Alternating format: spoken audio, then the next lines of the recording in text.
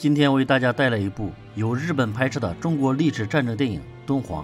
三十三年前，一九八八年，日本导演佐藤纯弥根据日本著名小说家井上景的同名小说改编的这部经典电影《敦煌》，可谓是响彻整个亚洲。当时本片的投资高达四十五亿日元，如果按照当时的汇率算下来，差不多两亿多人民币。光是一座敦煌古城就花了两千七百万。这部电影虽然是中日合拍，但从原著作者。编剧、导演到演员几乎全是日本人，这是一部日本看中国历史的作品。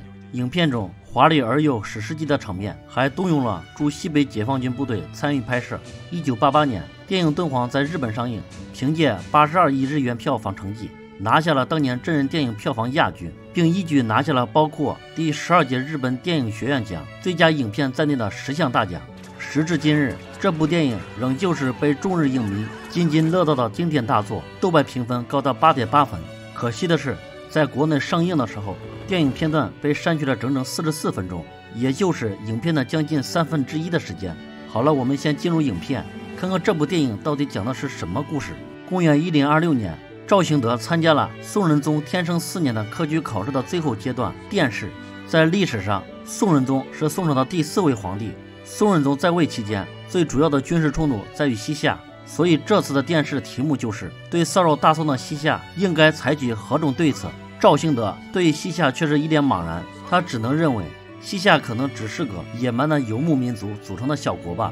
于是赵兴德这次科举落榜，下次科举还要等三年。走在大街上的赵兴德已经完全失去了信心。正当他心情郁闷的时候，在街上看见一个被骗到开封的西夏女。他宁愿自毁容貌，也不愿为豪强所欺凌，遂动了侠义之心，将他救下。西夏女无以回报，就送他一张西夏的通关文书。他这才知道，西夏原来并不是一个由野蛮民族建立的小国，他甚至有自己的文字。西夏女告诉他可以去西夏。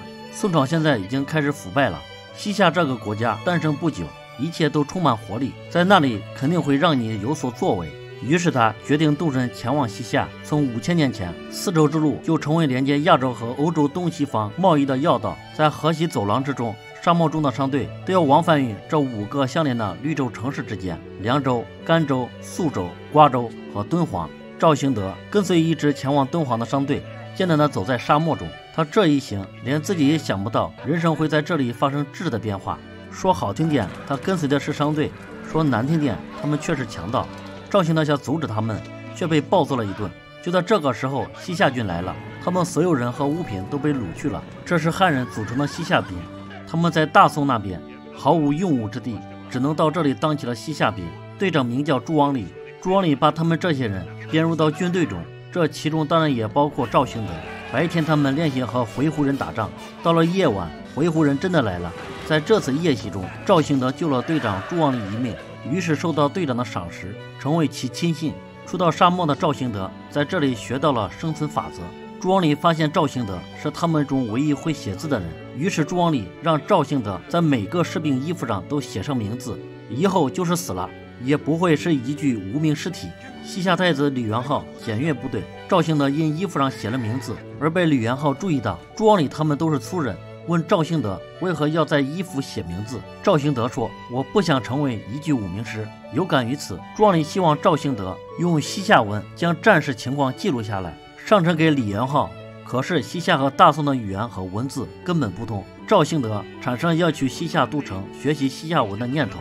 李元昊开始集结部队，准备进攻甘州。甘州就是现在的甘肃张掖市，它位于河西走廊的中段，这也是沙漠五大绿洲之一。军队开拔之前，将军下令把不能走的人处理掉。但是赵兴德把食物和水留给一个士兵。在这样的环境恶劣之下，虽然他能活过这几日，日后必会被沙漠所吞噬。无奈之下，赵兴德只能杀了他。李元昊骑白马站在沙丘高处，此时他还不是西夏皇帝，甚至连太子都不是，只是他爹的爱子和大将。当然，甘州之战之后不久，他就被立为太子了。西夏军乐队亮相。鼓声很有节奏，也很震撼，颇有大战前的紧张感。而且这个军乐队居然还有指挥。对手回鹘方面也有军乐队和指挥，不过他们以号为主。西夏军已经布阵完毕，朱王礼率领的雇佣军打头阵，对手回鹘军队慢慢进场。回鹘可汗也在队伍里。画面里，回鹘不仅有弩兵，也有抛石机，而西夏军队只有骑兵。这证明这场仗的性质是西夏攻，回鹘守。李元昊下令进攻，旁边的号角手吹动号角，西夏骑兵从带坡度的山丘下冲下。这么做是为了让骑兵拥有更大的速度。很明显，这波骑兵是准备用来陷阵的先锋。对于他们来说，速度就是生命。回鹘弩兵列阵发射，对付骑兵最好的武器就是弩。骑兵纷纷中弩箭，弩箭没有挡住西夏的骑兵，弩兵自动跟着旗帜分散。在弩兵的身后，回鹘的骑兵出动，他们的目的是要和西夏的骑兵先锋对冲，让他们的速度降下来。骑兵一旦失去速度，其战斗力就大幅下降。回鹘兵这么对冲，就是为了保护本阵的安全。回鹘骑兵交战不利，他们出动了重装步兵。李元昊再次下令，西夏军第二波骑兵上了。西夏的第二波骑兵并没有混入交战群，而是从双方混战的战场侧翼快速通过，明显其目标还是回鹘本阵。西夏第三波骑兵马上放出，这一波骑兵就是著名的铁鹞子。回鹘王亲率骑兵冲上来阻挡铁鹞子，这证明他们已经没有预备队了，生死就在最后一搏。此时的李元昊已经成竹在胸，回鹘军队本阵溃散，战局已经无法挽回。赵兴德也参与了这次大战。不久，部队攻陷了由回鹘人控制的甘州城。赵兴德在混乱中救下了回鹘人的公主，并逐渐产生了感情，有了私奔的念头。然而，两人在沙漠里跑了一圈，迷路，又回到了甘州，被队伍抓获。赵兴德恳求朱王礼保护回鹘公主，他虽然最终同意，但条件是赵兴德必须去兴清府学习西夏文。赵兴德与公主相约一年后相见，公主以家传绿宝石项链相赠作为信物。赵兴德在灵州学习西夏文一年期满，却未料到被强行扣住，继续参与编写西夏文词典的工作。待到工作完成，回到甘州，已是两年过去。赵兴德找不到爱人，便询问朱王礼，庄里却怒发如狂，叫他不要再问，只当他死了。赵兴德询问再三，才知道他已被李元昊掳走，并马上就要成亲，成为西夏皇妃。如公主不就范，李元昊就要一天杀死五个回鹘人。大婚之日，甘州城头华灯结彩，公主盛服礼庄，李元昊志得意满，却未料到他突然拔刀相刺，但没有成功。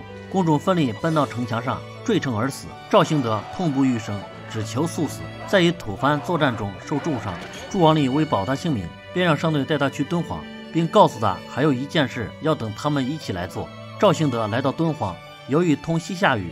受到敦煌太守曹廷惠的欢迎，并让他参与翻译经书为西夏语的工作。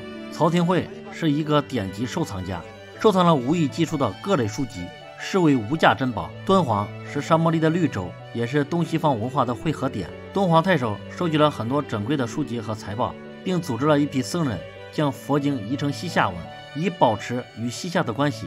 另外，在鸣沙山的石崖上开凿了石窟，创作了很多的壁画和佛像。西夏军廉颇甘州、肃州，遂决定征服敦煌。朱王礼作为先锋来到敦煌，但出人意料的是，他竟欲趁李元昊携孤军来敦煌的良机，与敦煌守军合作，伏杀李元昊。后来，这就是他告诉赵兴的他们要一起做的事。敦煌假装投降，欲引李元昊进城，再用伏兵击杀李元昊，但未料太守过度紧张而晕倒，引起李元昊怀疑。一场混战后，李元昊逃出敦煌城。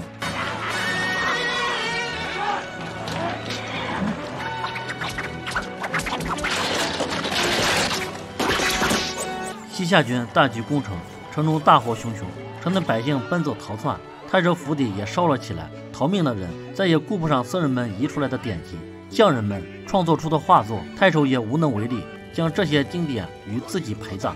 于是赵兴德向西域商人买来骆驼，将这一箱箱的宝藏藏到了敦煌洞窟中。西域商人以为是真的宝藏，将僧人全部杀害，并和赵兴德扭打在一起，最终被西夏的铁骑所淹没。